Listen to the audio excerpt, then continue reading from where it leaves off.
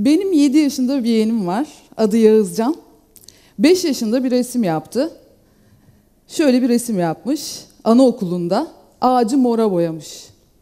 Fakat öğretmeni pek sevmedi bu resmi.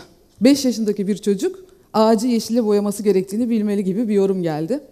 Sonra başka bir resim öğretmenine sorduk.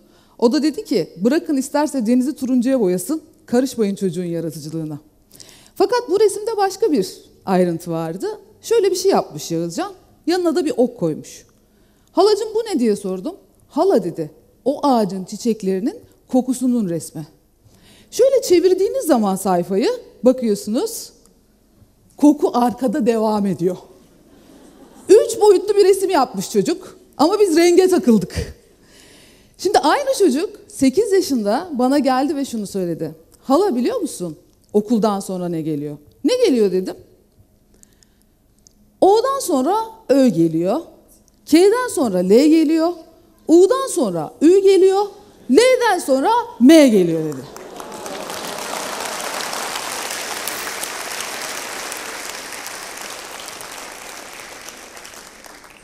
Neden böyle bir yorum yaptığını sorduğumda da ya hala dedi okula başladık.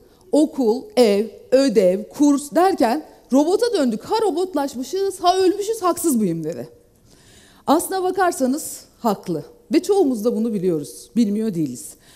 Ama şöyle bir şey var. Hani okul hiç mi olmasın? Ya da nasıl bir okul olsun? Efendim bu Bazilix kertenkelesi dünyanın en hızlı hayvanı olarak biliniyor. Saniyede bir buçuk metre hızla koşabiliyor. Fakat Bazilix kertenkelesi sadece acil durumlarda hayati önem söz konusuysa koşuyor. Bunun dışında gayet sakin yaşayan bir hayvan. Biz yavaşlıktan da aslında sakinliği anlıyoruz. Bir parça doğru ama salyangoz hızında yaşamak demek de değil. Aslına bakarsanız yavaşlık hareketinin temsilcileri de bunu söylüyorlar. Bize bir şey dayatılıyor. Değişim kaçınılmaz. Koşun, koşturun, değişime ayak uydurun. Rekabet var, rekabette ayakta kalın.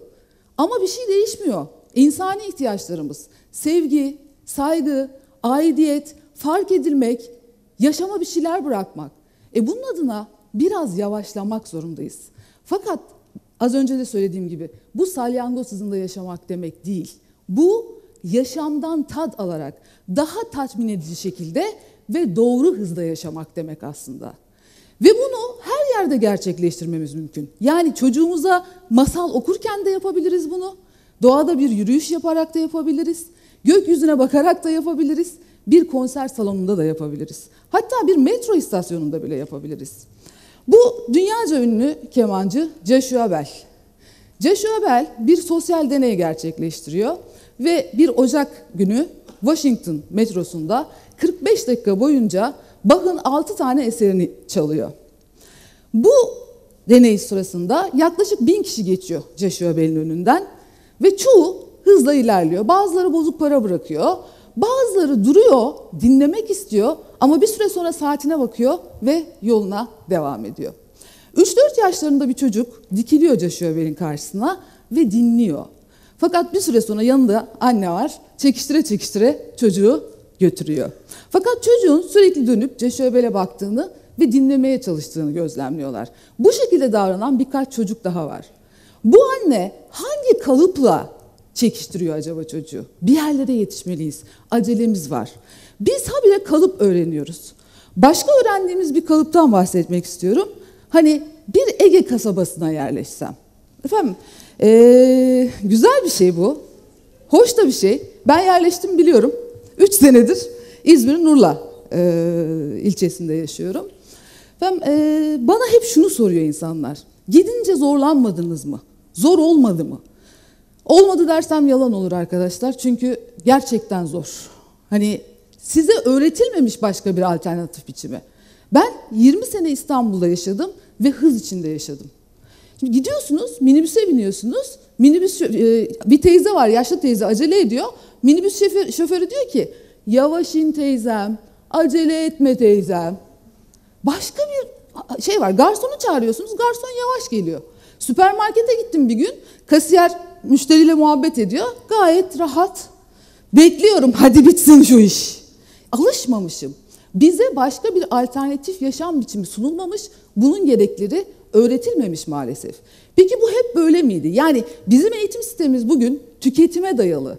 Koştur, tüket. Bunun üzerine dayalı, hız üzerine dayalı. Üretime dayalı bir şey yok muydu? Ben bir zamanlar bu ülkede güzel bir e, yapılanma vardı. Köy enstitüleri. Bir eğitimci olarak buna değinmeden geçemeyeceğim.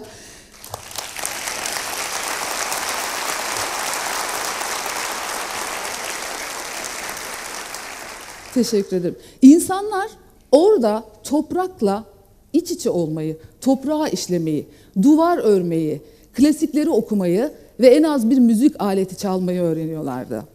Oradan iki örnek vermek istiyorum, onları paylaşmak istiyorum. Nasıl anlatılıyormuş bakın bazı bilgiler köy enstitülerinde. Şimdi biz bir formül öğrendik değil mi? X artı Y'nin parantez karesi. Nasıl öğrendik bu formülü? Birincinin karesi, birinci ile ikincinin çarpımının iki katı, ikincinin karesi. Bu ezber düzeyinde bir öğrenme. Hasan Ali Yücel'in mantık kitabından aldım bu örneği. Nasıl anlatılıyormuş bakın köy enstitülerinde. Şimdi her bir kenarı x uzunluğunda olan bir kare düşünelim. Bu karenin bir kenarını y kadar uzatacağız. Bunu yeni bir kareye tamamlayacağız. Her bir kenarı x artı y uzunluğunda olan yeni bir karemiz oldu. Şimdi gelin bunun alanını hesaplayalım. Şurada ne var? Bizim ilk çıkış noktamız olan x kare. Bir dikdörtgenimiz var. Uzun kenarı ve x kısa kenarı y uzunluğunda olan. Bunun alanı ne? xy. E bir dikdörtgen daha var xy. Bir de ne var? Küçük karemiz y kare. Sadeleştirirsem x kare artı 2xy artı y kare formülünü bulmuş oluyorum. Bu kentte Bursa'da bir fabrikada eğitim verdim. Ben yetişkin eğitimi veriyorum 20 yıldır. İşçilerle de işte e, yöneticilerle de çok beraber oldum. Bir mühendis arkadaşım aynen şunu yaptı. Hareket de bu. Vay be. Bunu bana öyle böyle öğretselerdi ben neler yapardım.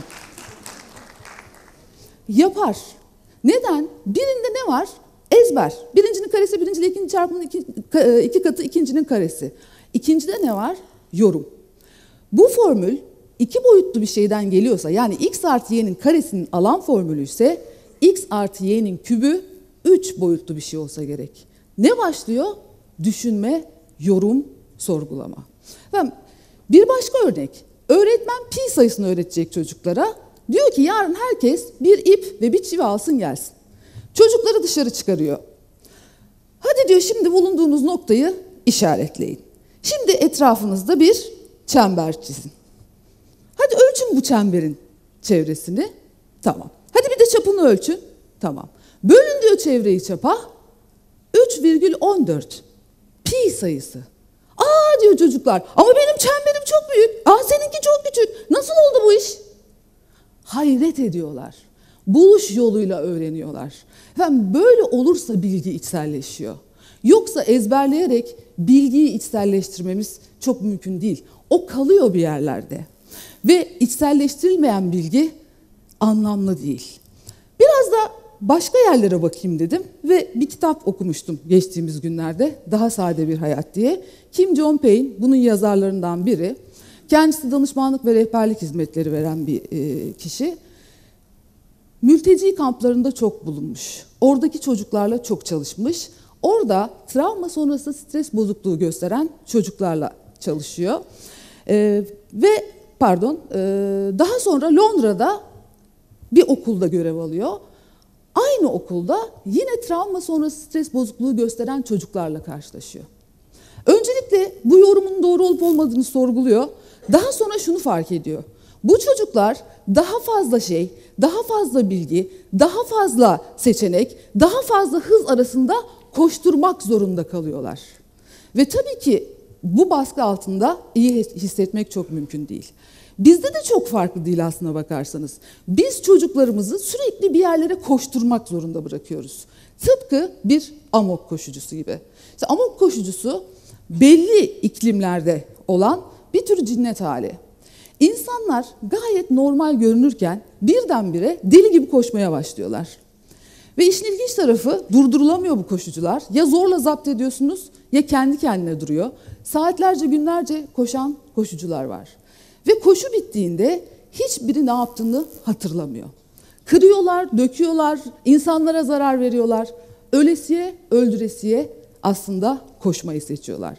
Bu bir seçim. Biz çocuklarımıza da eğitim sistemimizle bunu dikte ediyoruz. Okula git, okuldan çık ödev yap, kursa git, mutlaka bir sanat dalında da bir şeyler yap, spor yap, akademik başarın süper olsun, TEOK'tan şunu al.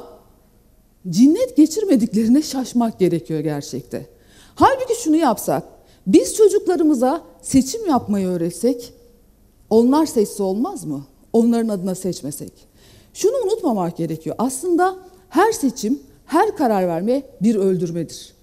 A, B, C seçeneklerinden herhangi birini seçtiğiniz anda diğer seçenekleri öldürüyorsunuz. İngilizce sözcüklerle bakacak olursak, homicide, insan öldürmek, cinayet. Suicide, intihar. Genocide, soykırım. Decide, karar vermek. Hepsinde ortak bir sözcük var. Side, öldürme. Bırakın onlar karar versin. Amok koşucusu gibi koşacaklar mı yoksa başka bir hayatı mı seçecekler? Seçmeyi öğretelim onlara her şeyden önce.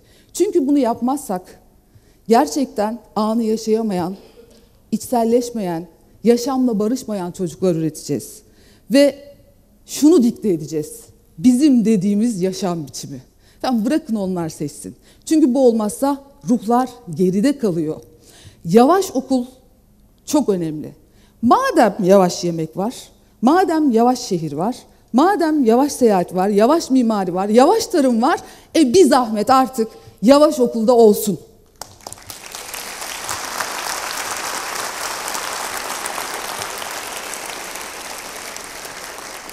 İnka tapınaklarında inceleme yapmak için e, tırmanışa geçen arkeologlara bir yerli rehberlik ediyor.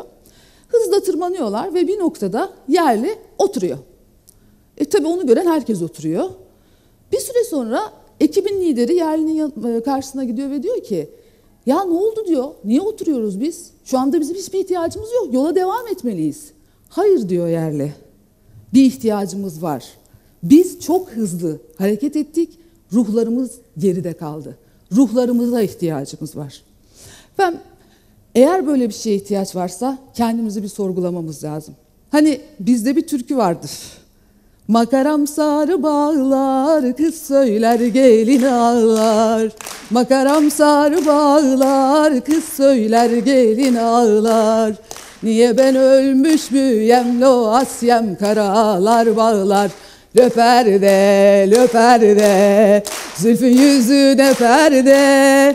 Devriyeler sardı da bizi meğer kaderim böyle. Şimdi aa, kız söyledi, Gelin ağladı. Asya karalar bağladı. E biz oynadık. Bunu bana Bademler Köyü'nden bir arkadaşım e, hissettirdi. Sevgili Onur, tiyatrocu aynı zamanda. E, bakın daha farklı söylenebiliyor mu bu türkü?